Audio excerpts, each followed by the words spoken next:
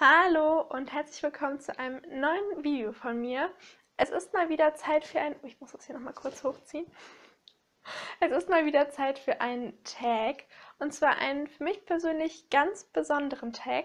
Und zwar handelt es sich, wie ihr ja auch schon in der Überschrift gesehen habt, um den Booktube-Tag.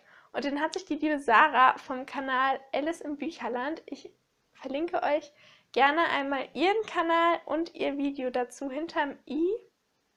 Nein, das i ist hier. Hinterm i und unten in der Infobox. Habe ich das gerade im anderen Video falsch gezeigt? Egal. Und unten in der Infobox schaut da gerne mal vorbei. Ich finde, es ist echt was sehr, sehr Besonderes. Also klar, jeder Tag wurde irgendwann mal von jemandem ausgedacht, aber bei den ganzen Tags, die so kursieren, die es auch schon viele Jahre gibt, kann ich das gar nicht mehr nachvollziehen, von wem der ins Leben gerufen wurde. Und jetzt weiß ich halt, von wem der Tag ist und das macht es irgendwie für mich äh, ein bisschen besonderer und ich freue mich sehr, die Fragen mit euch jetzt durchzugehen. Es sind, ich schaue zwischendurch immer mal wieder hier auf mein Handy, ähm, weil ich die Fragen dort abfotografiert habe. Es sind zehn Fragen und auch die schreibe ich euch gerne einmal unten in die Infobox. Dann könnt ihr entweder, wenn ihr auch einen Booktube-Kanal habt, ähm, das gerne auch machen, also diesen Tag machen, fühlt euch alle getaggt und mir dann auch gerne schreiben, dass ihr das gemacht habt, damit ich das auch sehe, dann kann ich mir das sehr gerne anschauen. Ähm, oder aber einfach so in den Kommentaren, wenn ihr Lust dazu habt. Ich finde, manche dieser Fragen sind echt äh, sehr besonders für mich, die Antworten sehr stark von euch interessieren würden. Genau, ansonsten wünsche ich euch ganz viel ganz, Ansonsten wünsche ich euch ganz viel Spaß mit diesem Video und hoffe, ihr findet es auch irgendwie interessant. Genau, starten wir mit der ersten Frage. Wie viel Zeit verbringst du mit dem Schauen von Booktube-Videos? Also ich kann da gar nicht so eine konkrete Zeitangabe machen. Ich muss sagen, am Anfang, ähm, als ich Booktube entdeckt habe, so vor vier, fünf Monaten ungefähr müsste das gewesen sein. Anfang des Jahres war es, das weiß ich nicht, schon fast ja, Februar oder so habe ich Booktube entdeckt. Da habe ich schon wirklich sehr, sehr viel Booktube auch geguckt. Vor allen Dingen habe ich auch, wenn ich einen Booktube-Kanal entdeckt habe, häufig, ähm, je nachdem wie viele Videos es waren, mir auf, äh, also diese Playlist geöffnet, wo alle Uploads sind und mich dann da so ein bisschen durchgescrollt und immer mal wieder, wenn mich ein Video interessiert hat, mir das angeschaut. Mittlerweile muss ich sagen, habe ich meinen Konsum ein bisschen heruntergefahren, auch aus äh, zeitlichen Gründen. Zu dem Zeitpunkt hatte ich gerade noch Semesterferien, äh, da ging das alles klar. Mittlerweile habe ich sehr viele Dinge zeitgleich zu tun.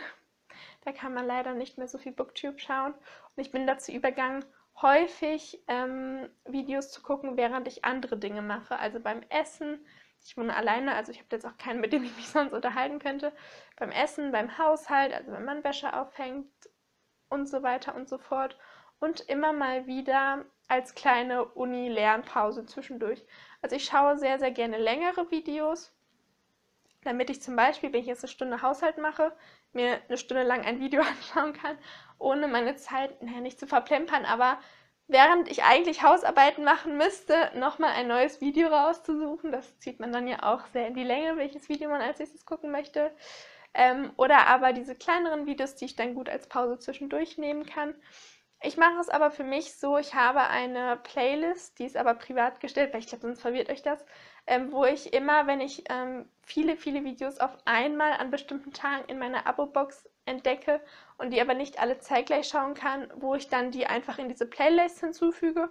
Und immer, wenn ich mal Zeit und Lust habe, dann schaue ich daraus zwei, drei Videos und lösche die und ja, so ist das so ein stetiges Gehen und dass ich nicht das Gefühl habe, ich, äh, weiß ich nicht, habe den Lesemonat von XY noch gar nicht gesehen und das ist schon zwei Wochen unter diesen ganzen Angaben vergraben. Ähm, gerade so äh, Formate wie Lesemonate, da ballert das ja jeder raus und äh, da kann man manchmal, also ich kann da nicht alle auf einmal gucken, ähm, so viel Zeit habe ich nicht und so teile ich mir das dann so ein bisschen ein. Also in Stunden kann ich das gar nicht richtig zusammenfassen. Genau, ich hoffe, ich sage jetzt nicht zu jeder Frage so viel, weil sonst sitzen wir morgen früh noch hier. ähm, welches Buch ist als letztes dank eines Booktubers oder Zuschauers auf deine Wunschliste gewandert? Mhm. Bei mir sind letztens erst ganz, ganz viele Bücher auf meine Wunschliste gewandert. Ähm, und zwar unter dem Video, wo ich meine 20 für 2020 Liste vorstelle. Da ähm, habe ich nur 15 Bücher vorgestellt und fünf Plätze quasi frei für eure Empfehlungen offen gelassen. Und da haben ganz, ganz viele mir super viele liebe, nette Empfehlungen drunter geschrieben. Ich habe mich da auch schon bei allen so durchgeguckt und ich habe mich noch nicht final entschieden, welche fünf Bücher denn jetzt zu dieser Liste noch dazu sollen. Ähm, aber auch so ganz viele tolle Empfehlungen. Also wenn sich irgendjemand von euch für Einzelbandempfehlungen interessiert, schaut einfach mal in den Kommentaren unter dem Video. Da gibt es äh, ganz viele. Ähm, das wollte ich jetzt aber nicht nehmen, weil ich es irgendwie komisch fand, dann ein Video daraus nur zu nehmen, ein Beispiel nur daraus zu nehmen. Deswegen habe ich mich für ein Buch entschieden, was ich auch schon hier habe. Und zwar ist es Finde mich jetzt, ich halte es mal so ein bisschen so, damit das Licht nicht spiegelt, von Katinka Engel. Und das habe ich letztens in einem Video, das Video ist schon ein bisschen älter. Wie gesagt, ne, ich schaue mich dann manchmal auch gerne durch ältere Videos äh, von den Booktubern dann durch, auf dem Kanal von Sarah von A Curd of Wanting Books. Auch ihren Kanal verlinke ich euch gerne oben hinterm i und unten in der Infobox. Und wenn ich das Video finde, gerne auch nochmal das Video. Mm, da hat sie auf jeden Fall so, so sehr über dieses Buch geschwärmt. Ich meine, das war auch im Rahmen eines Vlogs. Also man hat, also sie hat uns auch so ein bisschen beim Lesen mitgenommen.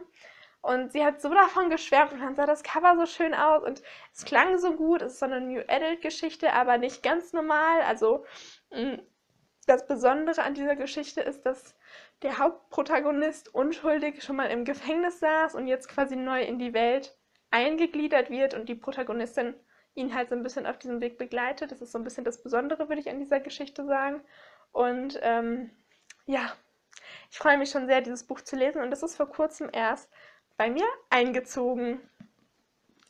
Genau, ich lege das mal hinter mich. Generell, Sarah schwärmt immer so krass von diesen Büchern. Da muss man gar nicht wissen, worum es inhaltlich geht. Das ist einfach ihr Enthusiasmus, das kommt so rüber. Also das ist, ich weiß auch nicht, das, dann bin ich auch direkt begeistert und möchte dieses Erlebnis unbedingt auch haben beim Lesen. Das macht sie echt äh, grandios. Das ist, ja, da habe ich schon sehr viele Bücher auf meine Wunschliste von gepackt. Ähm, hat sich dein Leseverhalten durch Booktube verändert? Naja, das ist jetzt so ein bisschen schwierig zu beantworten. Ich würde sagen, durch Booktube habe ich überhaupt erst wieder angefangen zu lesen. Ähm, bei mir war es so, dass ich als Kind und als Jugendlicher schon relativ viel gelesen habe. Aber so mit Beginn der Oberstufe, Berufskolleg, wo ich dann auch angefangen habe, ein Jahrespraktikum zu machen, also immer, ne, jetzt auch mit dem Studium, hat das so aufgehört. Also ich habe es bestimmt die letzten fünf, sechs Jahre nicht mehr so intensiv gelesen. Ähm, und dann irgendwann durch Zufall, ich kann mich schon gar nicht mehr bewusst daran erinnern, aber irgendwann ist mal so ein Booktube-Video bei mir äh, auf der Seite für vorgeschlagene Videos gekommen. Und dann bin ich in diese ganze Welt eingetaucht und dann hatte ich wieder richtig, richtig Lust zu lesen. Also im Prinzip hat Booktube mein Leseverhalten überhaupt erst ermöglicht. Also vorher habe ich so gar keine Bücher, also ich habe sehr viel Sachbücher oder so zwischendurch mal gelesen, aber jetzt nicht diese ganzen Geschichten, die ich jetzt lese ähm, ja, das hat Booktube eigentlich erst wieder so ins Rollen gebracht, kann man sagen. Also ich bin sehr, sehr dankbar dem YouTube-Algorithmus, warum auch immer er mir dieses Video vorgeschlagen hat, aber es hat eine neue Welt eröffnet. Ich meine, sonst säße ich jetzt auch nicht hier. Welchen Booktuber hast du als letztes abonniert? Welchen hast du neu entdeckt? Und da kann ich euch einen super, super süßen Kanal vorstellen. Ich gucke noch mal einmal kurz nach, wie äh, wie sie heißt. Ganz wirklich, wirklich sehr, sehr frisch ist sie erst ähm, dabei. Ich schaue mal kurz in meinen Abos nach.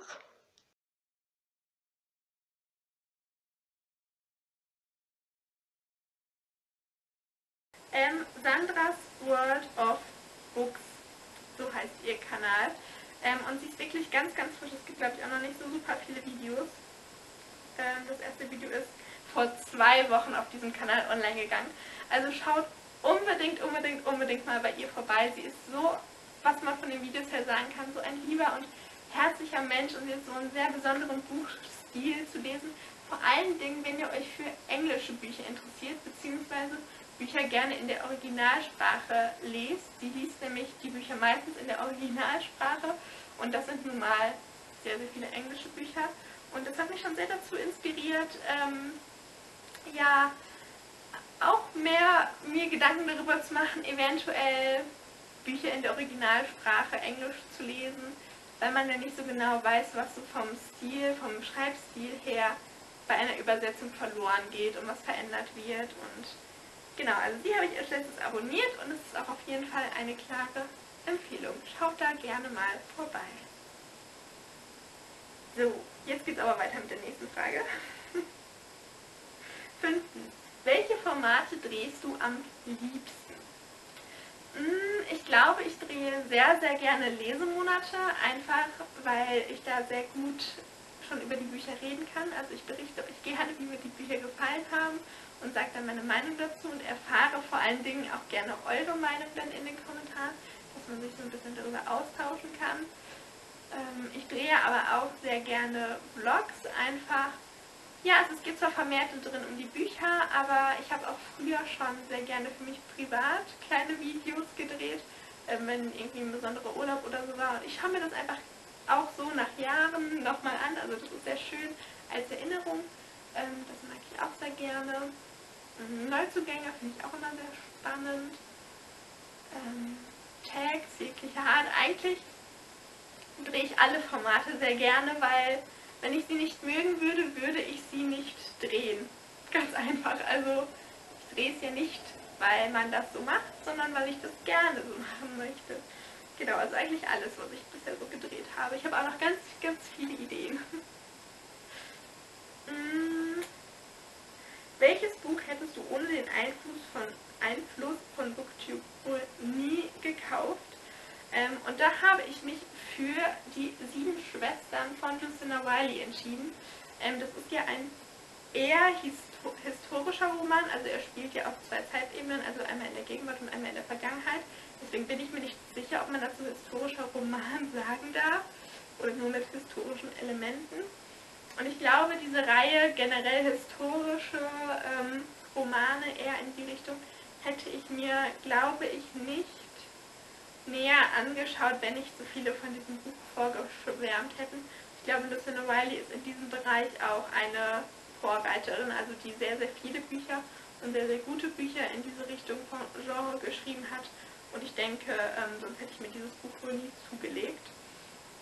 Ähm, in diesem Buch geht es um, obwohl der Titel sieben Schwestern sagt, es geht um sechs Schwestern, die alle von ihrem Vater adoptiert wurden ähm, beziehungsweise die halt einen Adoptivvater haben und als der plötzlich verstirbt, hinterlässt er jedem der Mädchen ähm, Koordinaten von ihrem eigentlichen Geburtsort und lässt denen somit die Freiheit und die Möglichkeit, ihre Heimat, ihre Herkunft zu erforschen und in jedem Buch kann man dann jemand anderem begleiten.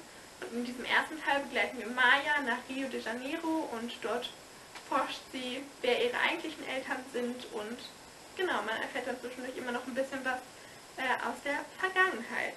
Und mir hat dieses Buch wirklich mega, mega gut gefallen. Ich gucke mal kurz, wie viele Sterne. Vier Sterne habe ich dem Ganzen gegeben. Ähm, ja, ich bin sehr gespannt, wie es in den weiteren Teilen so weitergeht. Und Teil 2 ist ja auch auf meinem Want-to-Read für diesen Monat. Genau, aber ich denke, sonst hätte ich mir diese Art von Büchern nicht angeschaut. Also es ist auf jeden Fall eine große Empfehlung, wenn man auch eher so von diesen ganzen historischen Romanen, die komplett nur in der Vergangenheit spielen, noch so zurückschreckt. Das ist so ein gutes Mischding, könnte man sagen. Siebtens, ein Buch, das von vielen Booktubern gehypt wird, dich jedoch kalt lässt. Da ist mir jetzt spontan, ich kriege nicht so viel den Hype meistens mit, aber spontan ist mir da Verity von Colleen Hoover eingefallen. Ich habe das auch nicht hier, ich kann euch das auch nicht einblenden. Ich weiß leider nicht, wie das technisch funktioniert. Aber ich denke, vielen von euch ist dieses Buch ein Begriff und ihr wisst auch, wie dieses Cover aussieht.